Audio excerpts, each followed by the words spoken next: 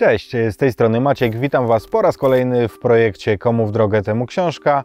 Jest to drugi wakacyjny sezon i przed nami kolejny odcinek. Porozmawiamy dzisiaj o książce, którą ja uznaję za bardzo istotną, a mowa o książce Topr, żeby inni mogli przeżyć autorstwa Beaty Sabały-Zielińskiej.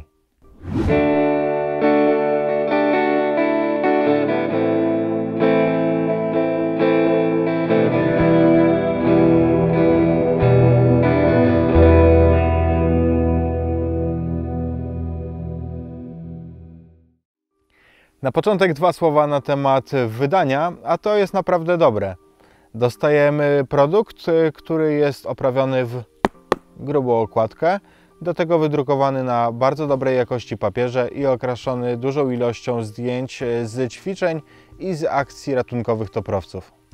Autorka to była dziennikarka Radia Z, która już od wielu lat opowiada o pracy toprowców.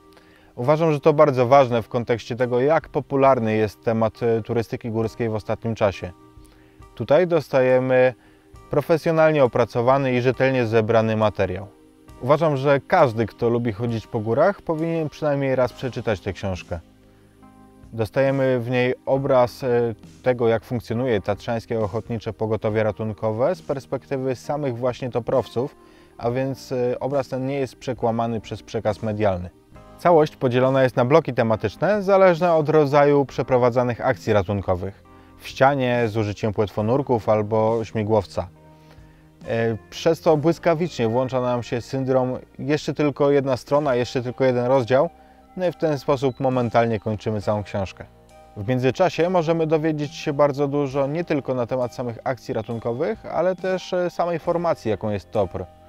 Szczerze powiedziawszy, ja nie miałem pojęcia o tym, jak skomplikowana jest procedura dołączenia do TOPR-u i jak wiele szkoleń muszą jego członkowie przechodzić no, cały czas, bo ciągle się dokształcają.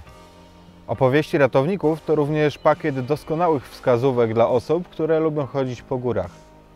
Możemy z nich się dowiedzieć nie tylko na temat tego, jak robić to bezpiecznie, żeby nie dopuścić do wypadku, ale przede wszystkim jak zachować się, jeżeli do takiego wypadku już dojdzie i w jaki sposób ułatwić pracownikom e, TOPR-u ich pracę.